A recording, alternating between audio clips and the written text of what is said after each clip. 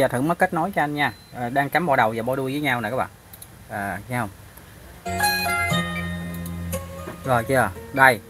Đây là xung giao tiếp nè. Xung giao tiếp của Toshiba nè. Dương 159 âm 160 đúng chưa? Khi nó giao tiếp như vậy thì bắt đầu nó nó bắt đầu nó sẽ chạy đúng không? Ờ, à, bo đuôi sẽ bắt đầu sẽ từ từ bo đuôi sẽ chạy. Sau thời gian khoảng 2 phút bao nhiêu giây? Bây giờ cái đây là quạt đuôi nóng nè nếu, nếu như mà không đuôi nóng không chạy trong một thời thời gian dài nó mới báo danh là 0104 mà khi mà đó là gọi là mất giao tiếp nè 0104 đúng chưa? Còn cái này là lóc chạy nè.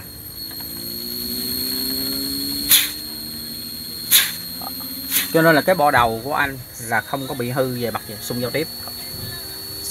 Và nó đang hư nằm nếu như có hư thì nó nằm ở cái bộ đuôi nha chứ không nằm cái bộ đầu. Đúng không? Cho nên cái lỗi 0104 của anh à, là nó không xuất hiện trên mỏ đầu. Được chưa? Cái lỗi 0104 của anh nó đang xuất hiện ở cái ở cái bò đuôi. Cái bò đuôi cái bò đầu này của anh nè. Còn cái bò đuôi này là ở đây kiếm thử cho anh nè. Đó. Xung giao tiếp đó hai cọc nè. Hai đen ba đỏ. Số bon giao tiếp của nó ở thang tích đỉnh dương 159 à, đỉnh âm trừ 160 được chưa?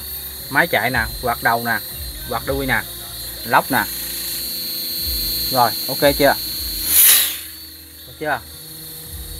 Từng giọt nắng ấm áp chiếu sáng khung trời nhuộm màu áo cưới đôi ta xanh nước duyên đầu cả một trời thương nhớ quay về về lại ok anh nha